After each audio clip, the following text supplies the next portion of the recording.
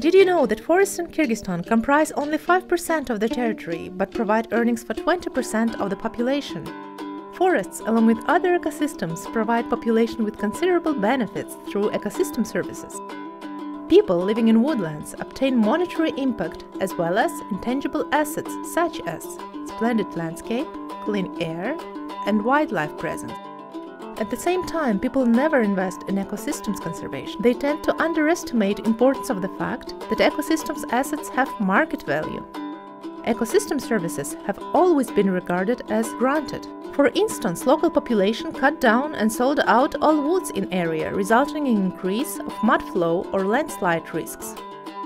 Earlier this year, the Kyrgyz Republic launched a new program aimed at introducing a system of environmental and economic accounting through experimental ecosystems accounts implementation.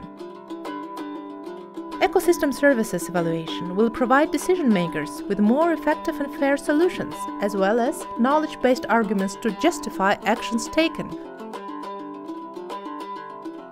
Sustainable use of forests and other ecosystems can generate a steady income not only for us now, but for our generations in the future. Think about it. Save me, your Earth.